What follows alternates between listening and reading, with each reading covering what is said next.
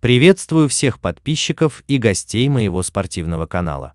Вчерашнее поражение сборной России от канадцев стало ни много ни мало настоящим шоком для всех поклонников сборной России, так как и тренерский штаб, сами хоккеисты, да и мы с вами явно не рассчитывали уехать с чемпионата мира после неудачи в четвертьфинальном матче и не войти в четверку лучших на мировом хоккейном первенстве. Видел в ваших комментариях отклики о неправильно выбранной стратегии тренерского штаба в матчах на групповом этапе, где надо было проиграть белорусам и выбрать себе таким образом более подходящего соперника по четвертьфиналу. Не знаю, как вам эта мысль, но мне она кажется безосновательной. Раз уж сборная приехала на чемпионат за победой, надо быть готовым к встрече с любым соперником, включая Канаду, и на любой стадии плей-офф. Напомню, вчера в овертайме мы уступили канадцам 1-2. Единственную шайбу у россиян забросил Евгений Тимкин. Статистика матча говорит о преимуществе сборной России по нанесенным броскам в створ ворот и выигранным вбрасыванием. Так, например, у наших 25 бросков против 24 у канадцев. А вот удалялись россияне чаще, у них три двухминутных штрафа против одного у канадцев. Арбитры, на мой взгляд, отсудили не так, как хотелось бы, и к ним были вопросы по ходу матча. Единственную шайбу в основное время канадцы забросили как раз после неоднозначного удаления Владимира Тарасенко в третьем периоде. Если быть объективным, я бы выделил в нашей команде только Орлова, остальные сыграли ниже своих возможностей.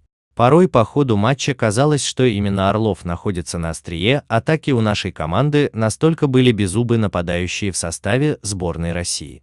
Вячеслав Фетисов оставил без ответа вопрос о судьбе главного тренера сборной России Валерия Брагина, подчеркнув, что этот вопрос должна решить Федерация хоккея России. Сам результат в игре с канадцами Фетисов назвал печальным.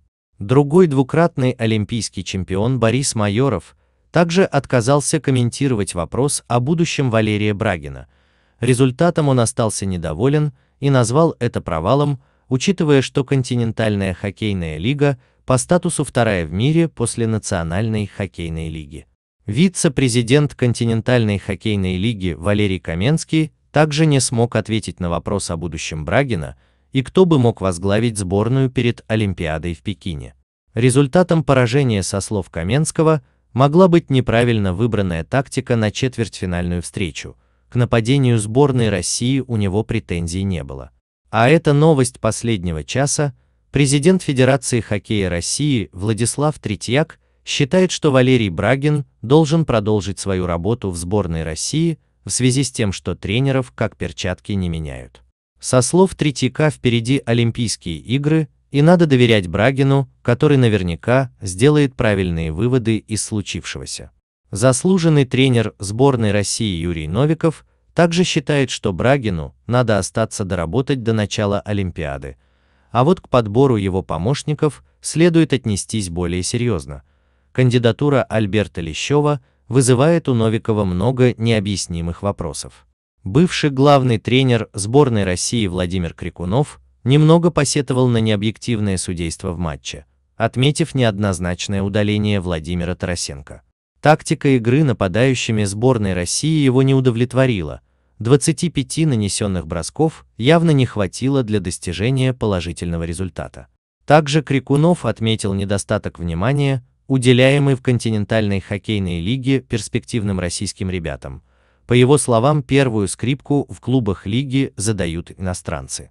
Наставник сборной России по футболу Станислав Черчесов обещал показать результат на стартующем чемпионате Европы по футболу, который начнется через неделю.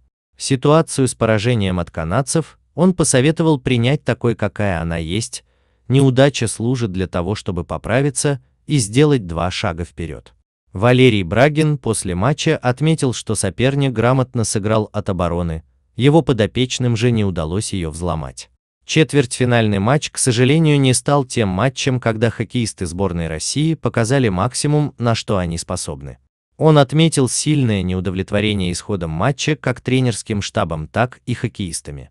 Нападающий сборной России Владислав Каменев посетовал на то, что шайба не шла в ворота в самом ответственном матче сборной России на чемпионате мира. Ехали же все в Ригу, по его словам, только за золотыми медалями. Как бы то ни было, жизнь продолжается. Понятное дело, что рана саднит и не скоро заживет, но надо сделать капитальные выводы из случившегося и обязательно выправить ситуацию в российском хоккее.